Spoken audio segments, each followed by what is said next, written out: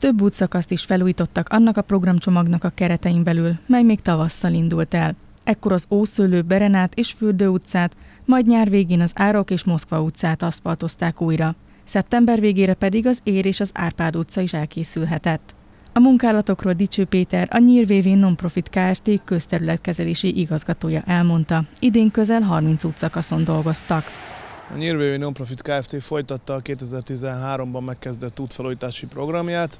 Az idei évben eh, majdnem 30 helyszínen eh, sikerült utakat felújítanunk, ugye az első fél évben eh, nyár elejére nagyobb volumenben készültek el útfelújítások, idén pedig még a második fél évben négy helyszínen tudtunk utakat megújítani. Augusztus végére nagyobb forgalmú Árok utca, illetve Moszkva utca elkészült, és az Árpád utca és az Ér utca kivitelezési szeptember elején kezdődött, és szeptember 30-ára mind a két helyszínen megújult burkolattal találkozhattak már a városlakók.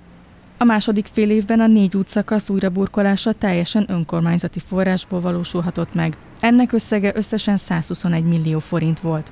Ahogy arról korábban beszámoltunk, az Árok és a Moszkva utcán 539, illetve 406 méter hosszan marták fel az aszfalt réteget. A közterületkezelési igazgató ehhez hozzátette, az Ér utca 300, az Árpád utca 310 méteren újult meg, mintegy 43 millió forintból. A jövőben továbbra is folytatódik majd az útfelújítási program, ezzel kapcsolatban a tervezések zajlanak jelenleg.